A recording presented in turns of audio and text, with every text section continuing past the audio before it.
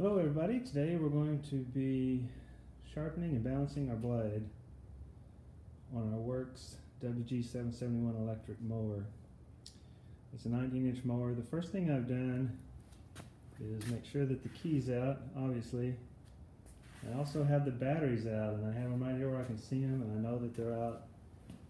Um, battery operated electric mowers might be a little easier to get hurt on than a gas mower just because it's very easy for it to come on when you don't expect it to.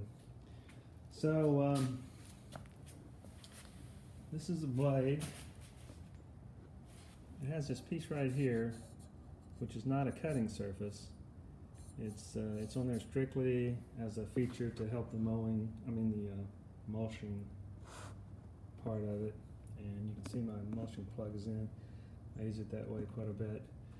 This is just a 15 millimeter nut and uh, all you have to do just typical you know righty tighty lefty loosey I've got my clamp on it here to help hold it and uh, so of course it's going to be rotated this way.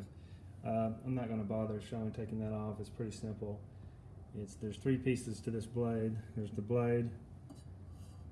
There's the motion mechanism and then behind this, there's going to be just a little keeper type thing that, you know, allows these to, to come through and keep everything tight together. So I'm not going to bother showing taking that off. Everybody knows how to do that. And we'll go on to uh, sharpening and balancing the blade. Okay, we've got our blade off, um, and I have a really small yard, so it was hardly worn at all. Um, there was one bad nick uh, right here from where I'd hit a rock or something.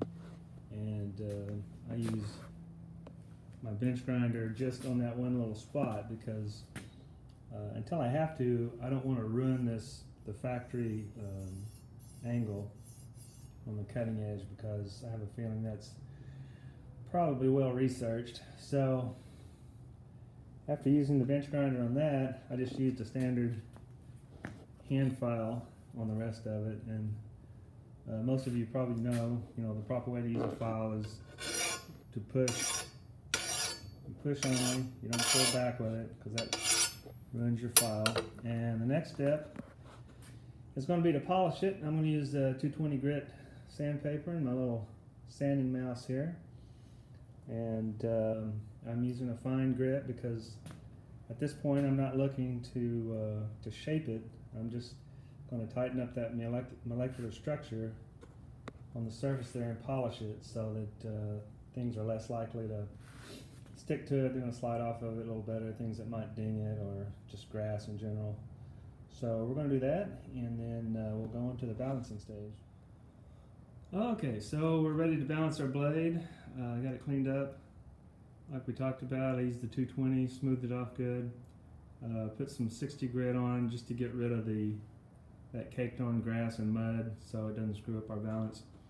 Um, I'm going to be using the uh, my tripod that I typically use for uh, laser leveling and, and, things like that. It has um, it's got your bubbles built into it here, but for this particular use, you want to uh, just look at the skirt of your um, balancing cone because that's the most important thing.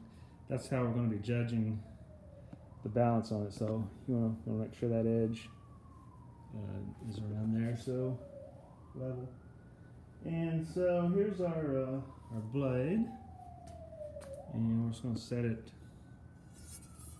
set it on there just like that. This blade has a, a little flat notch on it, so you got to concentrate on getting it lined up with the round part. It'll still work Let's get it lined up with the round part. Let the flat part just kind of set up a little higher because uh, it's not going to affect the balance. It's just going to make it set on there a little different. So that's what it looks like and that's pretty darn good. It's kind of wobbling back and forth there because I don't have both hands to steady it. Um,